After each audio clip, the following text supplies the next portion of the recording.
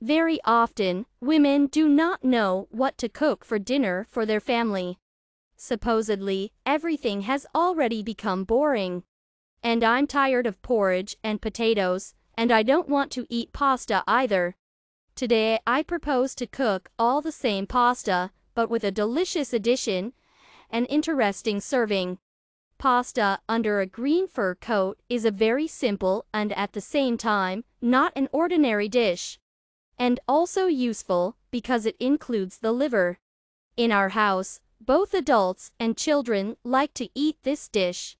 Therefore, I advise you to cook, because it is really delicious. The recipe from the category Russian cuisine and consists of six cooking steps. The complexity of the dish. Medium. We will prepare the necessary ingredients. Cut the liver into small pieces. Beat it off with a kitchen hammer, marinate in salt and black pepper. We put a frying pan with sunflower oil on the fire. When the oil warms up, fry the liver. Dip each piece in flour and put it in a frying pan. Lightly fry the liver on both sides and put it in a saucepan. Therefore, Fry the whole liver. Next, we prepare a roast for gravy. Chop the onion into small cubes and the carrots on a medium grater. First, fry the onion. When it is slightly browned, add the carrots to it. Fry until golden brown.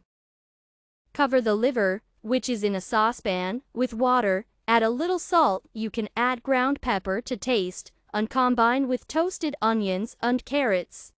We send the pan to the stove and bring it to a boil.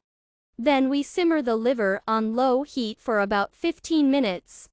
Be careful not to over dry the liver, as in this case it becomes stiff. Cooking pasta. We do this as usual.